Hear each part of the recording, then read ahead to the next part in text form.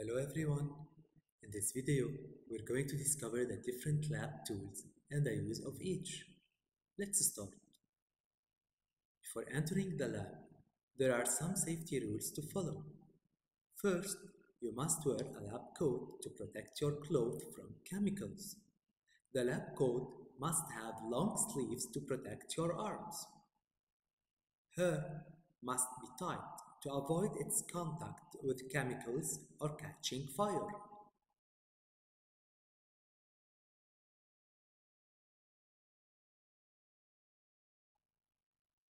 Some reactions release harmful gases, so your eyes must be protected by wearing goggles. The direct contact with chemicals might be irritant for the skin. That's why gloves must be worn.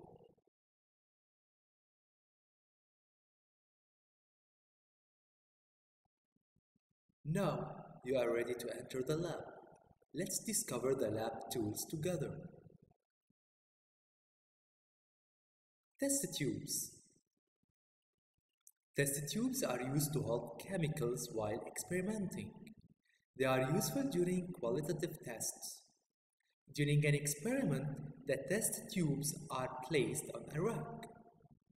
Labeling test tubes is essential to track the content of each tube. In this experiment, the scientist would like to detect which solution is acidic, solution A or B. Already the scientist knows an indicator color that change non-acidic solutions into pink. So he took few milliliter of each solution in a test tube and added a few drops of the indicator color by using a medicine dropper. As solution A stood colorless in the presence of the indicator color, so it's acidic. And solution B turned into pink, so it's non-acidic.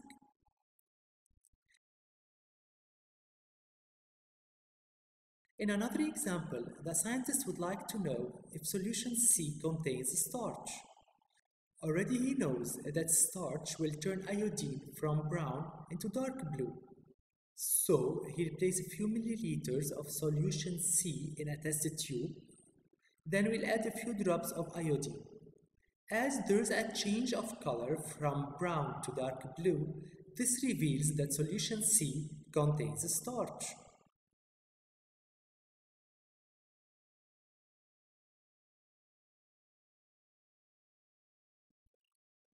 Beaker. A beaker is a container used for holding various liquids, as it's useful for mixing chemicals. Some of them are heat resistant, so they are used to heat liquids. In this example, the scientist mixed sugar and water, stirred them by using a glass rod, and heated the mixture. The graduation in a beaker enormously varies between two marks. In this example, it's increasing 50 milliliters, so it gives an approximate value of the volume.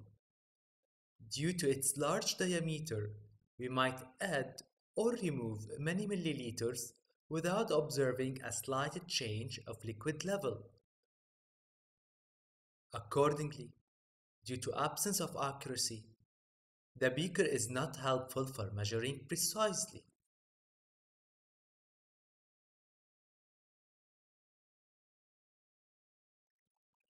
A glass rod. A glass rod is used to manually stir solutions. Conical flask. A conical flask is a container with a narrow neck which allows mixing by swirling without splashing out.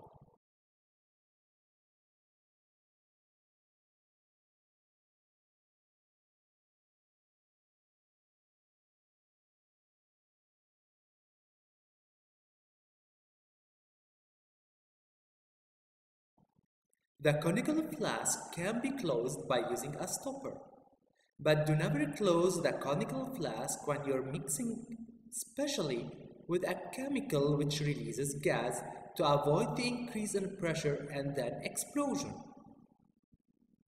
The narrow neck of the conical flask is helpful when you need to collect the gas released by a chemical reaction. So, you can use a stopper with a delivery tube. In this experiment, the scientist is testing the kind of the gas released. Both a beaker and a conical flask are containers. When do we use each? A beaker has a wide top, while the conical flask has a narrow neck.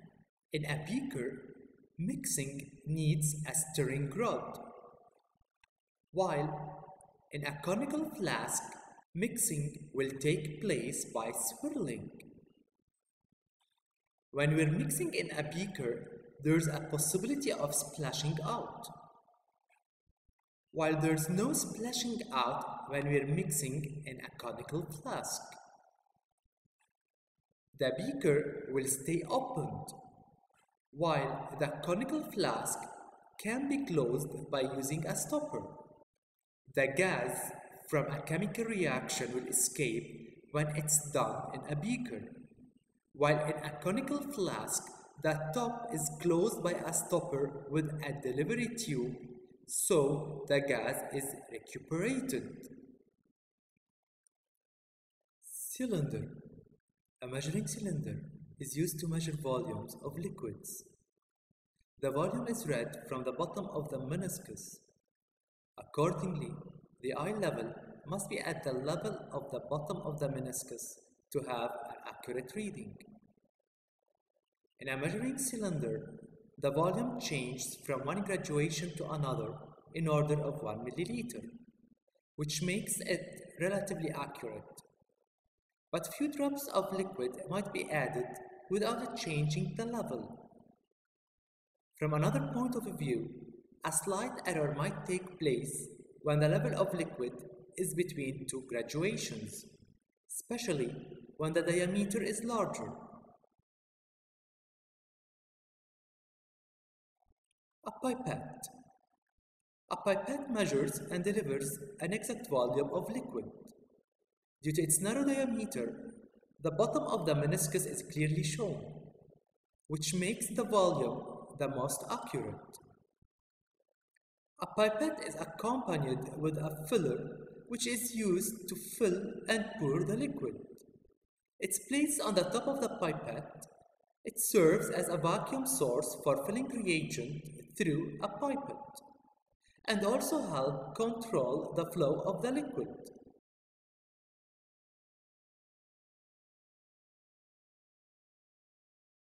In front of me, a pipette of 25 milliliters. This allows us to transfer the total available volume or getting benefit from the graduation to transfer a specific amount.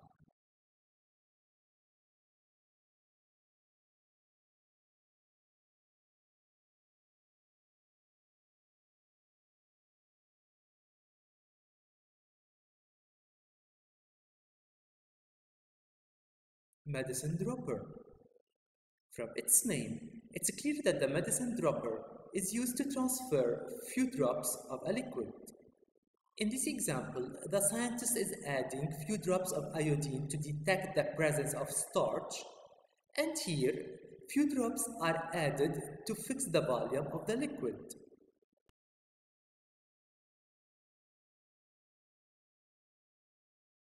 A digital balance is used to accurately measure the mass of a substance.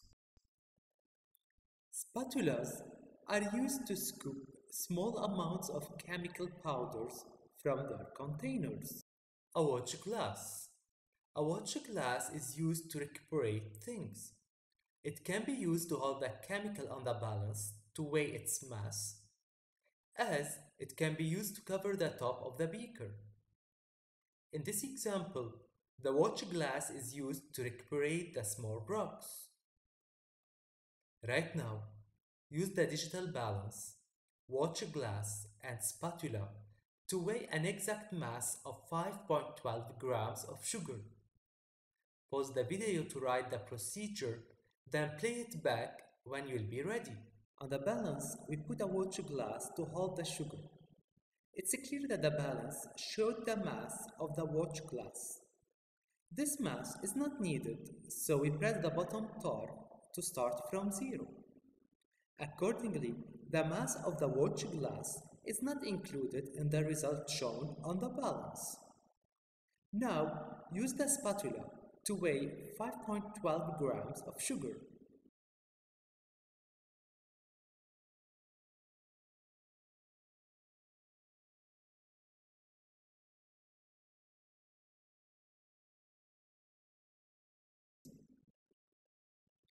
A volumetric flask is a flat-bottomed bulb with an elongated neck calibrated to measure a definite volume of liquid.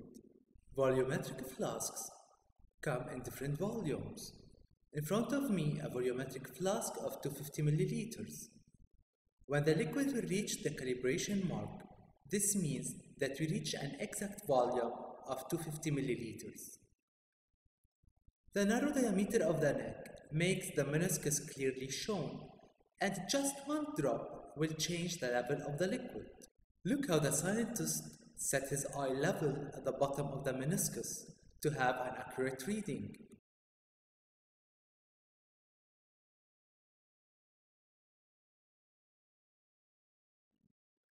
A filter funnel is used to safely transfer a liquid from one vessel to another especially when the receiving container has a narrow opening.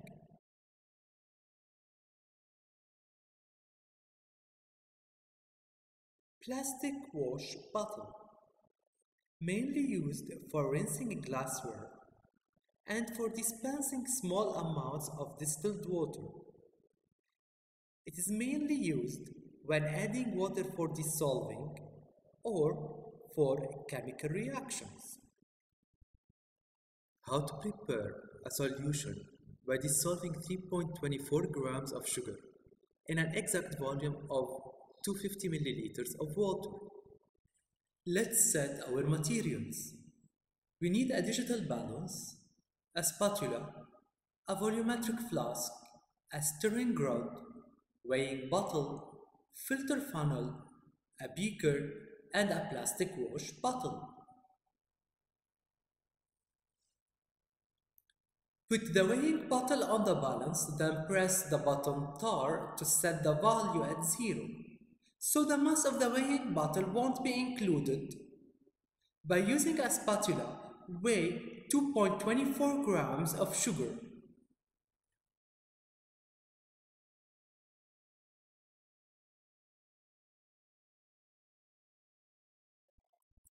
Transfer the sugar to the beaker and rinse the weighing bottle for many times in order to collect the whole mass of sugar.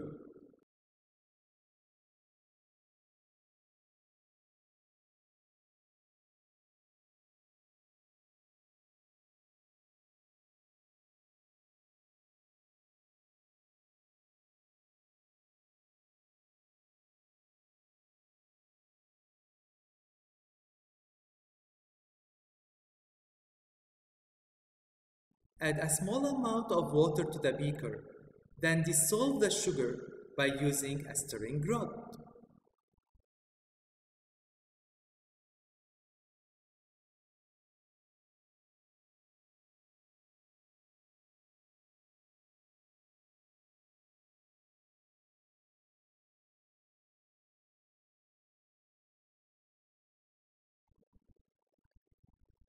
Use a funnel to transfer the mixture to a volumetric flask.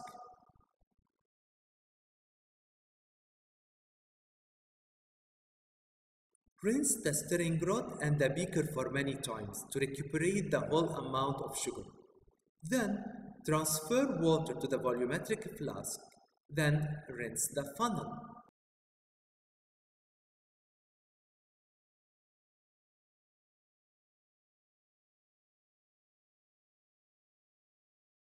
Swirl the mixture very well to be sure that the whole quantity of sugar was dissolved. When the volumetric flask is half filled, there's enough space to mix the water and sugar, but if water reached the neck of the volumetric flask, there will be no available space for mixing. Accordingly, part of the sugar won't be dissolved and will settle down. When you are sure that the whole quantity of sugar is dissolved, add water to reach the neck of the volumetric flask.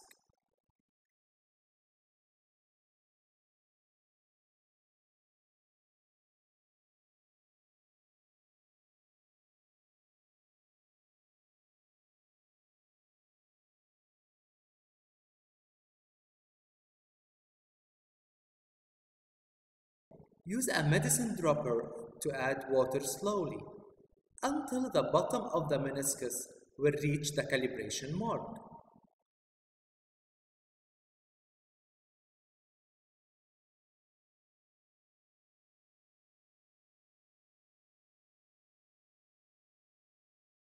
Pay attention, one drop will change the volume.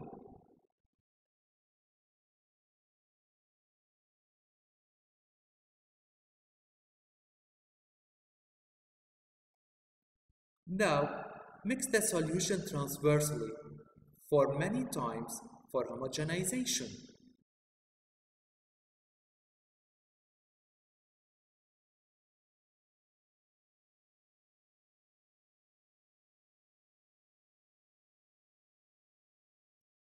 Mortar and pestle. Mortar and pestle are used to grind substances into powder or slurry. Look how this tablet of vitamin C is turned into powder. The other lab tools are formed from glass, while the mortar and pestle are formed from ceramic to avoid breaking.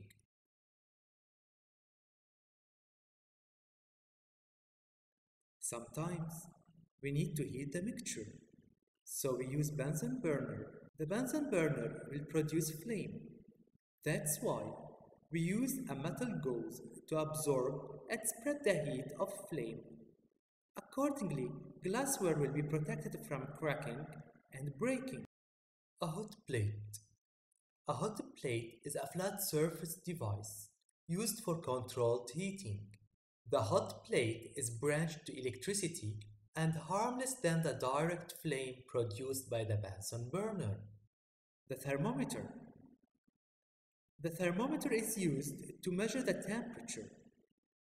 It exists as digital form which shows the temperature as numbers or the traditional thermometer which contains mercury or alcohol.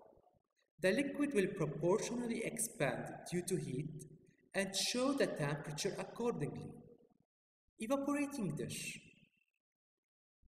An evaporating dish is used to evaporate excess liquids. It's formed from a heat resistance material such as ceramic. Look how water evaporates in order to recuperate salt alone. Hot materials such as an evaporating dish can't be held by hand to avoid burning. Look how the scientist is removing the evaporating dish by using a pens formed from wood.